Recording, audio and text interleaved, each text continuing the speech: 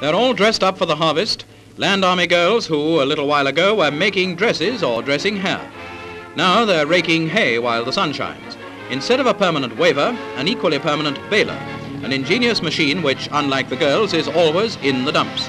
The dumper punches the hay into a hard, compact bale, and when the bale's the regulation length, it's squared off and separated from the next one by a dividing board. The great idea, as most young women learn sooner or later, is to keep on feeding the brute.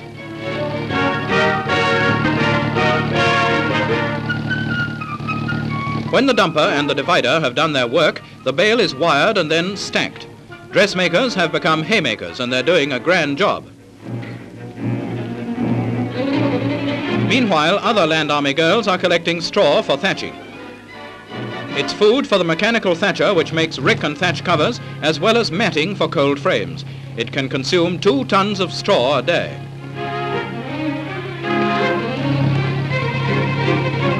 Thatcher takes the unthreshed straw between its teeth and binds it into lengths at an average rate of a yard each three seconds. The machine and the girls are certainly fast workers.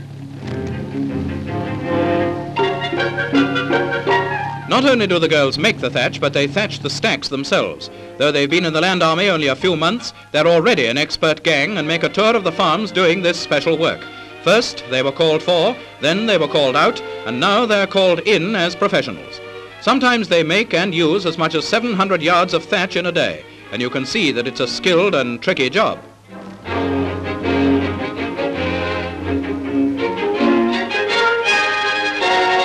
Good for you, girls. We bare our own thatch in salute.